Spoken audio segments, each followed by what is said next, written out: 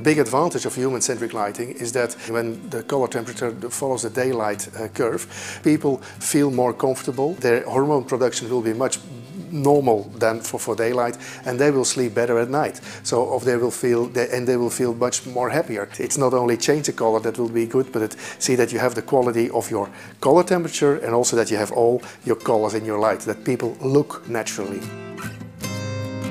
I am president of uh, Groenlight Flanders. This is uh, a company who support everything what is uh, economic lighting. The project we are doing here in the St. Joseph's Clinic in Izegem is coming after a request of the University High School Ghent KU Leuven to see what we can do with light therapy uh, for patients with dementia. I talk with the people here from the hospital in Izegem, seeing if we can do something for them, for more comfort for the patients. With the dementia patients, the biggest problem is that we have to fix them to their beds during the night because they run away, they stroll away. If we can solve that problem, that melatonin level is okay, then people will sleep the whole night through and that will increase the comfort and of the patients and also of the staff. The, the knowledge we have in lighting, we try to couple it on the knowledge they have here in the hospital, uh, especially more medical um, support.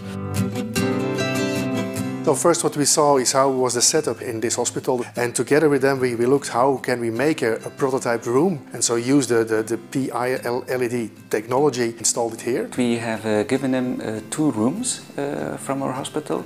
Uh, one room with the light therapy and then another room with the runaway behavior. With the light therapy there was very quickly an improvement in the night rest for the patient. So uh, at this moment the patient is uh, less aggressive has, uh, from his better night rest. For the runaway behavior, the other project, we are still looking at the, the best color, the best position, but we measured that the patients who came through the door uh, didn't open the door. And also already the staff says that with that human-centric lighting they have already very good uh, feeling. They feel better when they come into the room because the lighting adapts to the lighting outside. I can recommend every company um, to do uh, similar things because we are improving uh, the life of people, the health of people. So I think it's everybody's concern.